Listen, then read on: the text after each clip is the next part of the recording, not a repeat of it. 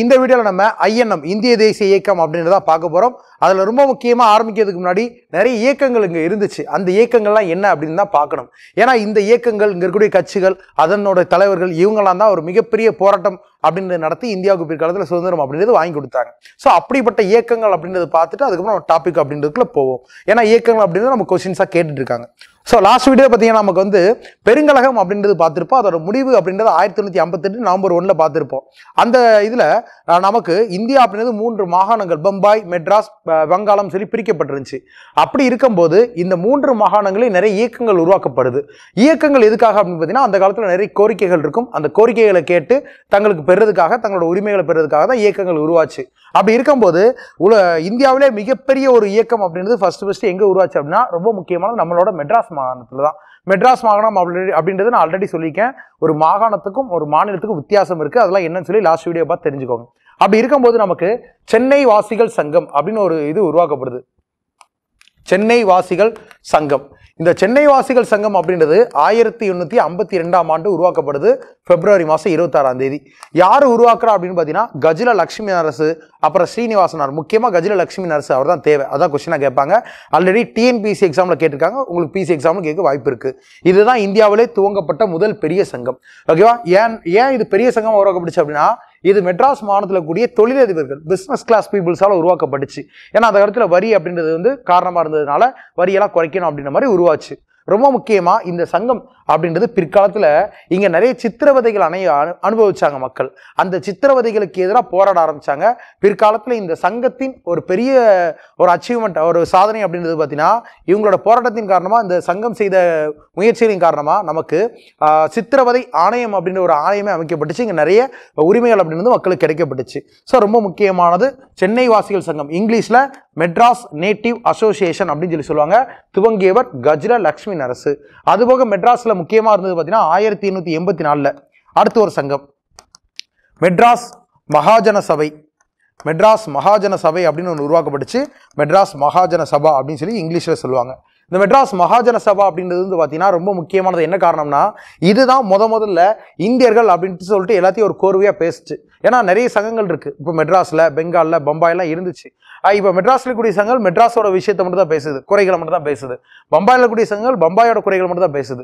அப்படி இருக்கிற நேரத்தில் ஒட்டுமொத்த இந்தியா அப்படின்ற எல்லா பிரச்சனையும் பேசின முதல் சங்கம் இந்த மெட்ராஸ் மகாஜன சபை தான் ஆயிரத்தி எண்ணூற்றி எண்பத்தி நாலு மே மாதம் பதினாறாம் தேதி. டேட்டு வேணும்னா எழுதிக்கோங்க. மே மாதம் பதினாறாம் தேதி உருவாக்கப்பட்டுச்சு. இது யாருனால உருவாக்கப்படுது அப்படின்னா எம் வீரராகவச்சாரியார் அனந்தச்சார்லு பி ரங்கையா போன்ற முக்கியமான மூன்று பேர் இதில் வந்து இருக்கிறாங்க. இதில் கொஸ்டின் அப்படின்றது என்ன கேட்பாங்கன்னா இந்த மெட்ராஸ் மகாஜன சபையின் முதல் தலைவர் யாருன்னு கொஸ்டின் கேட்பாங்க.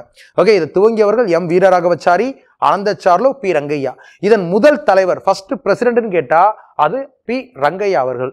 அதுவே முதல் செக்ரட்டரி ஃபர்ஸ்ட் செயலாளர் யாருன்னு சொல்லி கேட்டிருந்தா அது அனந்தச்சார்லு அவர்கள். ஸோ இதெல்லாம் கான்செப்ட் ஞாபகம் வச்சுக்கோங்க. ஓகே இவங்களோட கோரிக்கை அப்படின்றது பிற்காலத்தில் வந்து பார்த்தீங்கன்னா இந்திய தேசிய காங்கிரஸ் அப்படின்னு ஒன்று பார்ப்போம் நம்ம. இதுக்கு அடுத்து அதுதான் பார்க்க வேண்டியதே. அதில் வந்து பார்த்தீங்கன்னா இந்த சங்கம் அப்படின்றது பிற்காலத்தில் இணைக்கப்பட்டிருக்கும். இவங்களோட கோரிக்கைகள் என்னெல்லாம் இருக்குதோ அது எல்லாத்தையும் காங்கிரஸும் பிற்காலத்தில் தங்களோட கோரிக்கையெல்லாம் மாற்றிருப்பாங்க அந்த அளவுக்கு ரொம்ப முக்கியமான சங்கம். இது மெட்ராஸில் உருவானது. இந்த மாதிரியே நமக்கு பம்பாயில் பார்த்தீங்கன்னா ரொம்ப முக்கியமாக சொன்னால் பூர்வா சர்வ பூனா சர்வஜனிக் சபை அப்படின்னு ஒன்று உருவாக்கப்பட்டிருக்கும். இந்த பூனா சர்வஜனிக் சபை அப்படின்றது வந்து பார்த்தீங்கன்னா எம்ஜி ராணடே அவர்களால் ஆயிரத்தி எண்ணூற்றி எழுபது இந்த காலகட்டத்தில் உருவாக்கி இருக்கப்பட்டிருக்கும் ரொம்ப முக்கியமானது அதெல்லாம்.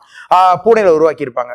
அடுத்து வேற ஒன்று பார்க்கணும் அப்படின்னா பம்பாய் மாகாண சங்கம் அப்படின்னு ஒன்று உருவாக்கப்பட்டிருக்கும். ஆயிரத்தி எண்ணூற்றி எண்பத்தஞ்சில் ரொம்ப முக்கியமான ஆட்கள் வந்து பார்த்தீங்கன்னா ஃபெரோஷா மேத்தா கேடி தெலாங் அப்புறம் பக்ரீன் தியாப்ஜி போன்ற தலைவர்களால் உருவாக்கப்பட்டிருக்கும். ஸோ இந்த மாதிரி வங்காளத்தில் பார்க்கணும் அப்படின்னு சொல்லி பார்த்தீங்கன்னா வங்காளத்தில் நிறைய சங்கங்கள் இருந்துச்சு. அதில் முக்கியமானது வந்து பார்த்திங்கன்னா இந்திய அசோசியேஷன் இந்திய சங்கம் சொல்லி ஒன்று இருக்கும் இந்திய லீக்னு ஒன்று இருக்கும் அப்புறம் கிழக்கிந்திய சங்கம்னு ஒன்று இருக்கும் தாதாபாய் நவரோஜர்களால் உருவாக்கப்பட்டது. இந்த மாதிரி நிறைய சங்கங்கள் அப்படின்றது இந்தியாவில் இருந்துச்சு. இதெல்லாம் தாண்டி நம்ம ஸோ நம்ம பார்க்க வேண்டியது என்ன அப்படின்னா இந்திய தேசிய காங்கிரஸ் அப்படின்றத அடுத்து நம்ம பார்க்கணும்.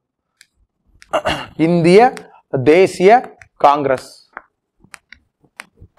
ஓகே இங்கிலீஷில் நம்ம ஐஎன்சி அப்படின்னு சொல்லி ஷார்ட்டாக சொல்லுவோம். இந்த ஐஎன்எம் அப்படின்றத எடுத்துக்கிட்டா அதாவது இந்த நவீன இந்தியா அப்படின்ற டாபிக் எடுத்துக்கிட்டாலே மாடர்ன் இந்தியாவை எடுத்துக்கிட்டாலே நம்ம இந்த ஐஎன்சி அப்படின்றத பற்றி தான் நம்ம அதிகமாகவே படிப்போம். ஓகே அப்படி இருக்கும்போது இந்த இந்திய தேசிய காங்கிரஸ் அப்படின்றது எந்த வருஷம் உருவாக்கப்படுதுன்னா ஆயிரத்தி எண்ணூற்றி எண்பத்தி அஞ்சில் உருவாக்கப்படுது. யாரால் அப்படின்னா ஏஓ ஹியூம் அப்படின்ற ஒருத்தரால் உருவாக்கப்படுது. இந்த ஏஓ ஹியூம் அப்படின்றவர் இருக்கார்ல இவர் வந்து இங்க இந்தியர் கிடையாது இவர் ஒரு ஆங்கிலேய அதிகாரி. ஆங்கிலேய ஓய்வு பெற்ற ஐசிஎஸ் அதிகாரின்னு சொல்லி சொல்லுவாங்க. ஐசிஎஸ்னா என்ன சார்னா நம்ம இப்போ யூபிஎஸ்சி எழுதுறோம்ல ஐஏஎஸ் எக்ஸாமுக்கு அது அந்த காலத்தில் ஐசிஎஸ் எக்ஸாமா இருந்துச்சு. இந்திய குடிமையியல் பணின்னு சொல்லி இருக்கும் அந்த பணியில் ஓய்வு பெற்ற ஒரு ஆங்கிலேயர் தான் ஏ ஓஹிம் அவர்கள். இவர் தான் இங்கே இருக்கக்கூடிய இந்திய தேசிய காங்கிரஸ் அப்படின்றத ஆயிரத்தி எண்ணூத்தி எண்பத்தஞ்சாம் ஆண்டு உருவாக்குறாரு. ரொம்ப முக்கியமானது எதுக்காக அப்படின்னா எல்லாரும் இந்தியர்கள் அப்படின்ற ஒரு கோட்பாடுகளை கொண்டு வந்து இங்க இருக்கக்கூடிய விஷயங்களுக்காக பேசணும் அப்படின்னு சொல்லி உருவாக்கியிருப்பார். ரொம்ப முக்கியமா. இப்போ இந்த இந்திய தேசிய காங்கிரஸ் அப்படின்றது எங்க உருவாச்சு அப்படின்னு சொல்லி கொஸ்டின் கேட்டாங்க அப்படின்னா பம்பாயில. பம்பாயில உருவாச்சு. இந்த இந்திய தேசிய காங்கிரஸை பொறுத்த வரைக்கும் மாநாடுகள் ரொம்ப ரொம்ப முக்கியம். ஓகே இதுல யாரெல்லாம் ஆரம்பத்தில் இருந்தாங்கன்னு பார்த்தீங்கன்னா இப்போ தாதாபாய் நவரோஜி சுரேந்திரநாத் பானர்ஜி இவோ ஹியூம் ஜி சுப்பிரமணியம் இந்த மாதிரி நிறைய பேர் இருந்தாங்க.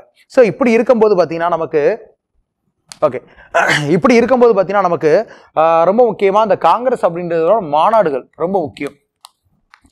காங்கிரஸோட மாநாடுகள் ரொம்ப முக்கியம். ஓகே இந்த காங்கிரஸ் கட்சியோட முதல் மாநாடு ஃபர்ஸ்ட் கான்ஃபரன்ஸ் அப்படின்றது எங்கே நடக்கும் அப்படின்னு பார்த்தீங்கன்னா முதல் மாநாடு ஆயிரத்தி எண்ணூற்றி எண்பத்தஞ்சில் எங்கே நடக்கு? நமக்கு பம்பாய் பார்த்தாலும் அந்த பம்பாயில் தான் நடக்குது. அந்த மாதிரி முதல் தலைவர் ஒரு காங்கிரஸை பற்றி படிக்கும்போது மாணவர்கள் பற்றி படிக்கும்போது எந்த வருஷம்? ஓகே யார் தலைவராக இருந்தா? எங்கே வச்சு நடந்தது? அங்கே எதுவும் முக்கியமான சம்பவங்கள் நடந்ததா? இதான் நமக்கு ரொம்ப முக்கியம். அதன்படி பார்க்கும்போது நமக்கு இதன் முதல் தலைவர் ஃபஸ்ட்டு பிரசிடென்ட் அப்படி சொல்லி பார்க்கும்போது நமக்கு டபிள்யூசி பானர்ஜி அவர்கள். உமேஷ் சந்திர பானர்ஜின்னு சொல்லி சொல்லக்கூடிய டபிள்யூசி பானர்ஜி இவர் தான் முதல் தலைவர். ஓகேவா ஸோ இதெல்லாம் நமக்கு ரொம்ப முக்கியமானது. இதில் எத்தனை பேர் கலந்துக்கிட்டாங்க அப்படின்னா மொத்தமாக எழுபத்தி இரண்டு பேர் கலந்துருப்பாங்க. அதில் இருபத்தி இரண்டு பேர் அப்படின்றது மெட்ராஸ் மாகாணத்தை சார்ந்தவர்கள். ஓகேவா இது கான்செப்ட் ஸோ மொத்தமாக கலந்துக்கிட்டது எழுபத்தி ரெண்டு உறுப்பினர்கள். அதில் இருபத்தி ரெண்டு பேர் மெட்ராஸ் மாகாணத்தின் உறுப்பினர்கள். இது கான்செப்டை ஞாபகம் வச்சுக்கோங்க. அடுத்து வந்து பார்த்தீங்க அப்படின்னா இரண்டாவது மாநாடு. முதல் மூன்று மாநாடு ரொம்ப முக்கியம். இரண்டாம் மாநாடு நமக்கு வந்து கல்கத்தாவில் வச்சு நடக்குது. கல்கத்தாவில் வச்சு நடக்குது. இந்த கல்கத்தாவில் நடக்கக்கூடிய இரண்டாம் மாநாட்டுக்கு வந்து யார் தலைவர்னு பார்த்தீங்கன்னா தாதாபாய் நவ்ரோஜி அவர்கள். தாதாபாய் நவ்ரோஜி. தாதாபாய் நவரோஜி இந்தியாவின் பழம்பெரும் மனிதர் grand old man of Indian nationalism சொல்லி சொல்லக்கூடிய தாதாபாய் நவரோஜி அவர்கள் வங்காளத்தில் ஒரு மிகப்பெரிய தொழிலதிபர் அவர் தலைவராக்குறாங்க. ரொம்ப முக்கியமானது அரௌண்ட் ஒரு நானூற்றி எழுபது எழுபத்தி ரெண்டு பேர்கிட்ட இதில் வந்து கலந்துருப்பாங்க உறுப்பினர்கள். இந்த மாநாட்டின் ரொம்ப முக்கியமான சுவாரஸ்யமான சம்பவம் என்ன அப்படின்னா அந்த நேரத்தில் டஃப்ரின் அப்படின்னு ஒருத்தர் இருப்பார். டஃப்ரின் அப்படின்னு ஒரு டஃப்ரின் பிரபு அப்படின்னு சொல்லி சொல்லுவாங்க. டஃப்ரின்றவர் என்னவா இருந்தாருன்னா இந்தியாவோட அரச பிரதிநிதி வைஸ்ராயா இருந்தார் இந்த நேரத்தில். இந்த இரண்டாவது மாநாட்டின் முடிவில் டஃப்ரின் பிரபு அப்படின்றவர் இந்த காங்கிரஸ் கா மாநாட்டில் கலந்துக்கிட்ட உறுப்பினர் எல்லாத்தையும் கூட்டு போயிட்டு தன்னோட தோட்டத்தில் வச்சு ஒரு தேநீர் விருது ஒரு டீ பார்ட்டி கொடுத்திருப்பார். இது இரண்டாவது மாநாட்டின் முடிவில் நடக்கக்கூடியது. இது கொஸ்டினாக கேட்கலாம். அடுத்து பார்த்தீங்க அப்படின்னா மூன்றாவது மாநாடு தேர்ட் கான்ஃபரன்ஸ் மூன்றாவது மாநாடு அப்படின்றது ரொம்ப ரொம்ப முக்கியம். ஏன்னா நம்ம ஊரான மெட்ராஸில் வச்சு நடந்திருக்கு.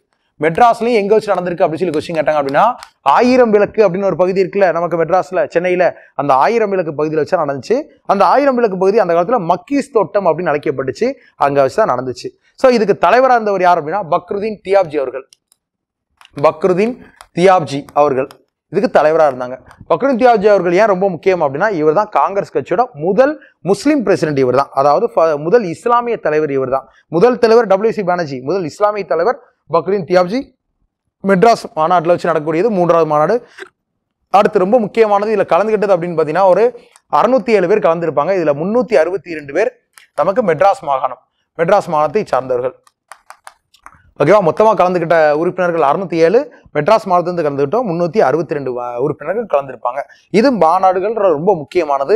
இது போக நாலாவது மாநாடு நம்ம தெரிஞ்சு வச்சுக்கலாம். நாலாவது மாநாடு அலகாபாத்தில் வச்சு நடந்திருக்கும். அதுக்கு ஜார்ஜ் யூலேன்னு ஒருத்தர் தலைவராக இருப்பார் ஏன் சார் அவர் முக்கியம் அப்படின்னா இது வரைக்கும் காங்கிரஸ் கட்சிக்கு வந்து இந்தியர்கள் தான் தலைவராக இருந்திருக்காங்க. ஜார்ஜ் யூலேன்றவர் ஒரு ஆங்கிலேயர். அப்போ ஒரு ஆங்கிலேயர் இந்திய தேசிய காங்கிரஸ்க்கு தலைவராக இருக்கார் முதல் ஆங்கிலேய ஆங்கிலேய தலைவர் யார் அப்படின்னா ஜார்ஜ் நாலாவது மாநாடு அலகாபாத்தில் வச்சு நடந்திருக்கும். ஸோ மாநாடுகள் இயர் இல்லையான்னு சொல்லி பார்க்கும்போது ஆயிரத்தி தொள்ளாயிரத்தி எண்பத்தஞ்சு எண்பத்தாறு எண்பத்தேழு எண்பத்தெட்டு அப்படின்ற மாதிரி வரிசையாக தான் நடக்கும். ஸோ காங்கிரஸ் அப்படின்ற கட்சி முதல் மாநாடாக இருக்கக்கூடிய ஆயிரத்தி தொள்ளாயிரத்தி எண்பத்தஞ்சில் இருக்கல இங்கே தான் நடக்குது. என்ன டேட்டில் உருவாக்கப்பட்டு சார் அப்படின்னு சொல்லி பார்த்தீங்கன்னா டிசம்பர் இருபத்தெட்டு. அது வேணா எழுதி வச்சுக்கோங்க இல்லாட்டி கூட விட்டுருங்க. ஸோ இந்த மாதிரி முதல் மாநாடு இரண்டாம் மாநாடுன்னு சொல்லி சொல்லிட்டு ஆயிரத்தி தொள்ளாயிரத்தி நாற்பத்தி ஏழு வரைக்கும் மாநாடுகள் அப்படின்றது நடைபெற்றிருக்கு. ஓகே இது கான்செப்ட் ஞாபகம் வச்சுக்கோங்க.